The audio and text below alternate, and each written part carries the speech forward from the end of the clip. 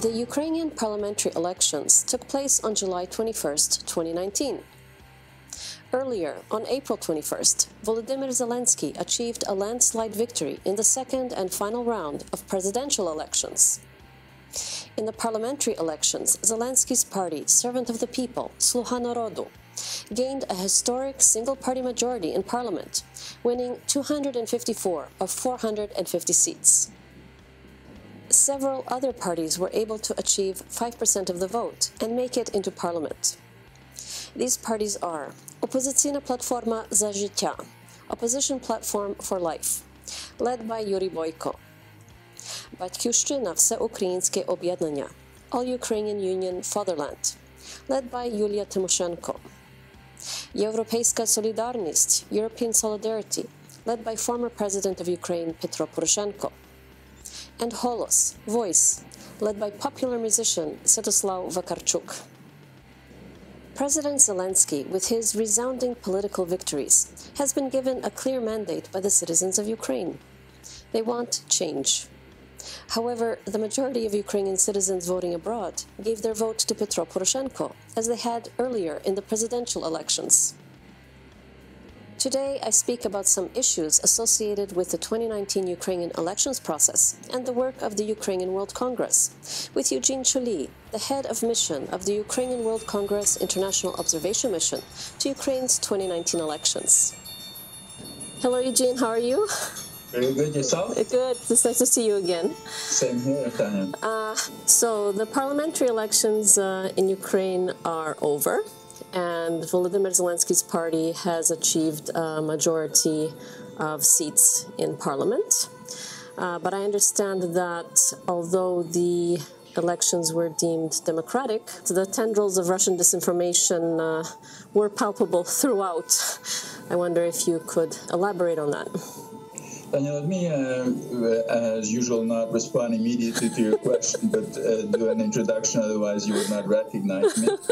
so, as during the presidential election, uh, during these parliamentary elections, we had uh, a substantial mission, uh, the fourth largest during the parliamentary election.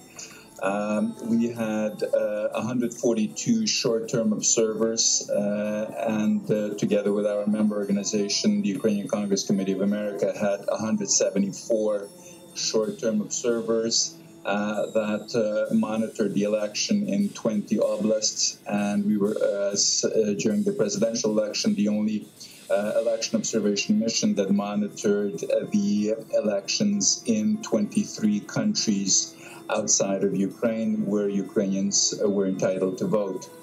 Uh, in addition to our short term observers, we had actually even a more substantial number during the parliamentary elections, in that we had 125 long term observers uh, that were monitoring in 28 countries in 20 languages, uh, to the, the extent to which Russian disinformation would portray the electoral process as a, an unfair one, a non democratic one, and uh, downplay uh, uh, the success of uh, that election, and at the same time portray Ukraine as a failed state. And as you've indicated, from our perspective, what we have uh, provided in our preliminary observations is that the elections were democratic, that there were minor violations that one sees in just about any election. Uh, but in, in, no way did, did that affect the results of uh, the election, nor were they systemic uh, violations. In terms of the elections per se, the biggest violation was the Russian aggression in eastern Ukraine and the illegal occupation of Crimea, that as a result uh, of such aggression, 26 uh, seats in the parliament of Ukraine will be empty, in that uh, uh 12 seats in Crimea and 14 seats in eastern Ukraine in the occupied territories of the Donbass will not be filled uh, because Ukrainian citizens are, were not entitled to elect uh, in those uh, regions that are currently illegally occupied by the Russian Federation. That, from our perspective, and as we have indicated, is the biggest violation of this parliamentary election, uh, which Ukraine unfortunately cannot settle on its own. Uh, it needs the international community to continue applying pressure in order to ensure that uh, eventually the Russian Federation complies with its uh, legal obligations, international obligations, uh, and leaves uh, Ukraine's territories.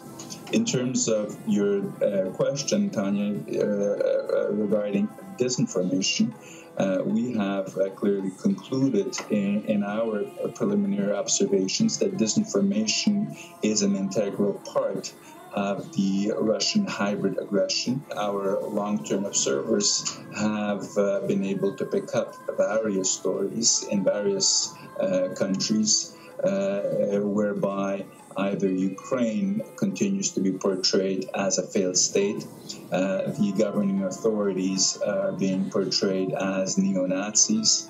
And we had actually one of uh, the most ridiculous uh, narrative uh, to the effect that the parliamentary election was the most uh, corrupt uh, since uh, Ukraine gained its independence, and that there were so many violations that one cannot even call them an election.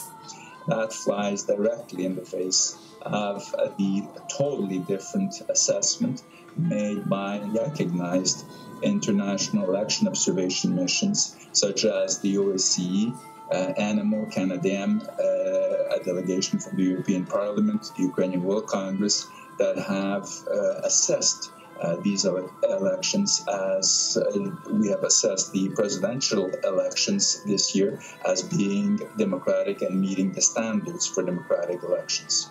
So, Eugene, uh, what do you make of the fact that Russia has blacklisted the Ukrainian World Congress and did so on the eve of the parliamentary elections in Ukraine?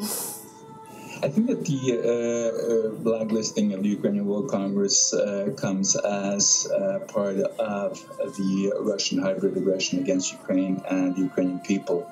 Uh, the, the intent uh, from the Russian Federation is to cut off the large, very large Ukrainian diaspora in the Russian Federation, in that uh, people that uh, in the Russian Federation that work with an undesirable uh, organization, quote unquote, uh, uh, are susceptible of fines, confiscation of property, and for repeat offense for imprisonment. So clearly, the Ukrainian World Congress has served as a network that enabled uh, the Ukrainian diaspora in the Russian Federation to have a contact with Ukrainians elsewhere in the world. Uh, and, and this blacklisting essentially creates a roadblock in order to ensure, uh, or, or, at least the intent is to ensure that the uh, Ukrainian diaspora and Russian Federation is isolated from the rest of uh, the Ukrainians, both in Ukraine and outside of Ukraine. And uh, besides the Ukrainian World Congress sort of standing up for itself in its own defense, who has stood by the Ukrainian World Congress in in this blacklisting? Clearly, the, uh, the, Ukrainian authorities have condemned uh, this action, and uh, I think at this stage, the Ukrainian World Congress is evaluating what should be the next steps in addressing this issue, and we'll we'll probably see in in the next days a concrete plan of action in order to address this issue. I'm Tania Stech, and this was Ukraine in the News. Канал 1 плюс 1 тепер доступний на Bell International Programming.